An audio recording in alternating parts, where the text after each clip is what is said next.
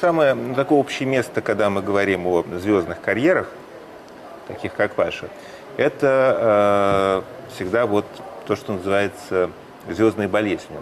Вы в себе отмечали когда-нибудь элементы звездности? То есть ловили себя на этом или нет? Или это не ваш случай? Я надеюсь, что это не мой случай. Иногда, вы знаете, иногда бывает такое ощущение, когда, например, к тебе подходит незнакомый человек, и ты, э, не, не поняв, может быть, его, э, там, как-то ты сам для себя думаешь, что, может быть, как-то неправильно я ему ответил. Ну, по крайней мере, эти мысли преследуют. И каждый раз в общении с людьми ты пытаешь, пытаешься учиться на своих же каких-то ошибках и пытаешься модернизировать свое поведение.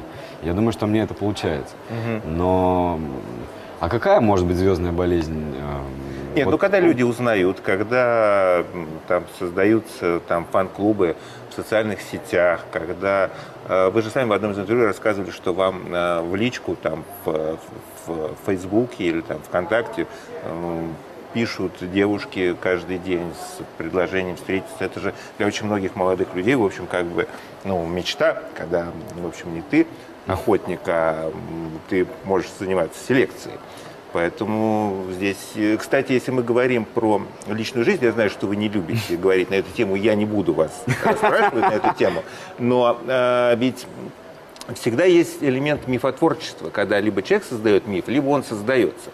А, я к тому, что все, все знают о загадочной э, подруге вашей жизни, которая вы со школы вместе. Я не спрашиваю, кто, кто, это или что это. А, я к другому подвожу. Как вы считаете, вообще должен ли э, человек вашей профессии, актер, э, создавать миф о себе и соответствовать этому мифу? Или, он, или поклонники имеют право знать о том, кто такой Саша Петров? Вы знаете, мне кажется, миф всегда будет создаваться, это нормально. Ну, то есть какая-то легенда и какая-то загадка в артисте, она должна быть, и она будет так или иначе.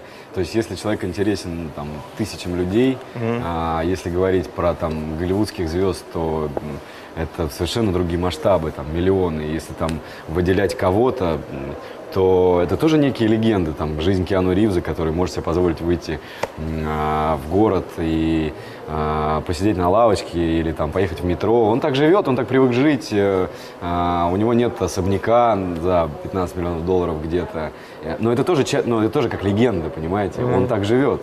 Ну, но это тоже как легенда, про это начинают все говорить. И из этого тоже складывается огромное количество мифов mm-hmm. и так далее. Поэтому, в принципе, это нормально. А это, я думаю, это неплохо, это хорошо. Угу. Не политкорректно, но без злого умысла. Иронично, но без сарказма. Пристрастно, но по-честному. «Правда 24» и Евгений Додолев. С понедельника по четверг в 19.30 на телеканале «Москва-24».